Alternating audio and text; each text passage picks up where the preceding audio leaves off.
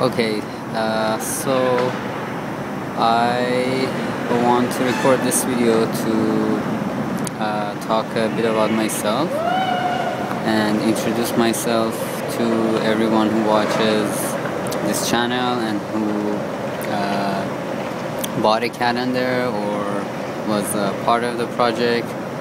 Uh, so I'm 27, uh, even though I look 18.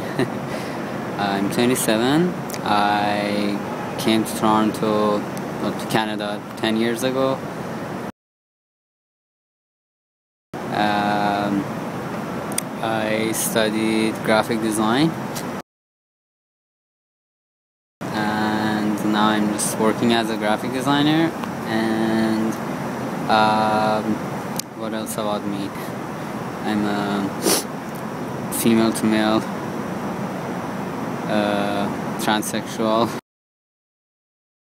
Started T about uh, 15 months ago and uh, had my top surgery uh, in May 2013.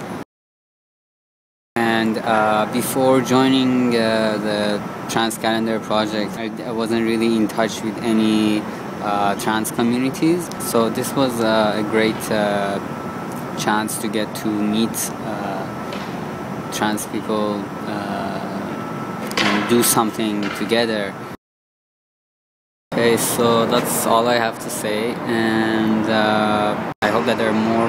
There uh, over time there will be more projects like this one, uh, so people like me can, uh, you know, really participate and connect more with people, and also use their uh, use their skills yeah. So that's uh, that's it basically all I I wanted to say. And uh, thanks for watching. Bye